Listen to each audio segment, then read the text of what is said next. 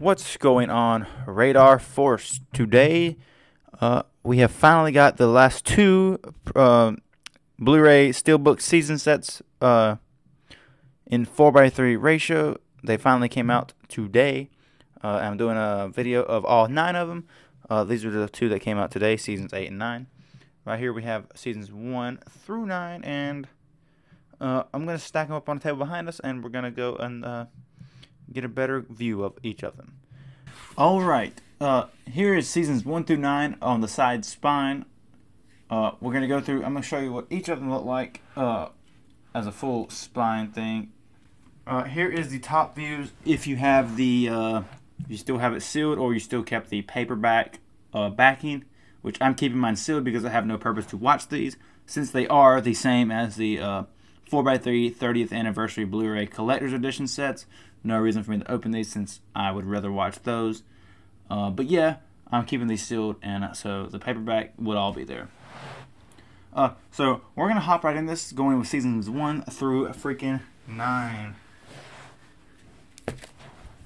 All right, season freaking one, and these just do not stand up by themselves. Mainly, probably because I have shrink wrap. All right, season one, uh, pretty awesome uh, artwork. I must say so myself.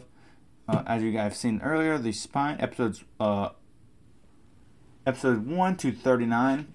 Uh, the back, like I said, if you take this off, there will be another artwork image, but I'm keeping this on there. I hate when they do this because, it's like, if you open this, you, more than likely you'll lose this insert. So I'm keeping mine sealed, so I don't have to worry about that.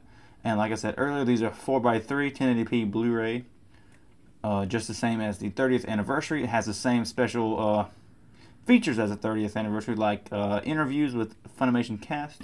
Uh, but that's season one. Season two, uh, decent artwork as well. This is episode 40 through 74.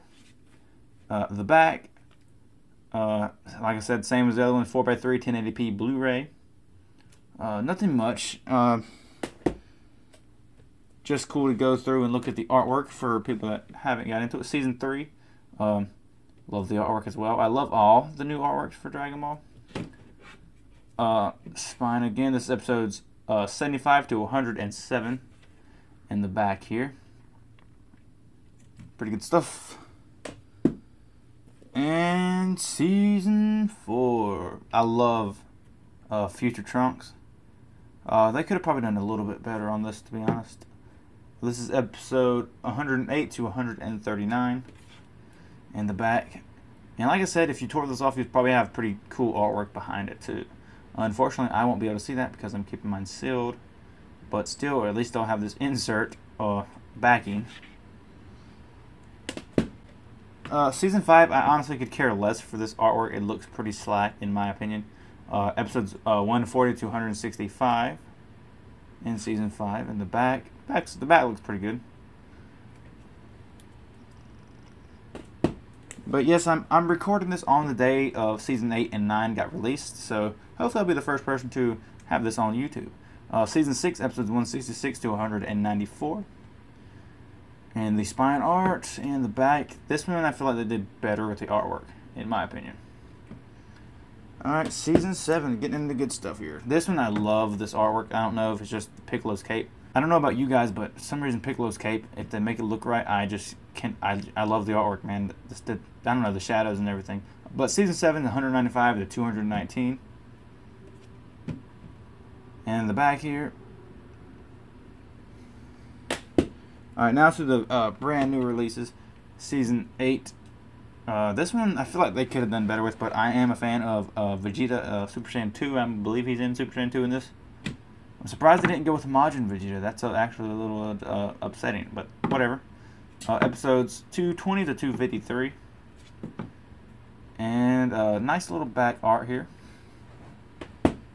And season 9, uh, I do like the Vegito uh, artwork, but I just don't care for the pink background. Uh, episodes 254 to 291. Spine and the back. Everybody loves Vegeta, though, you know, so can't go wrong with that.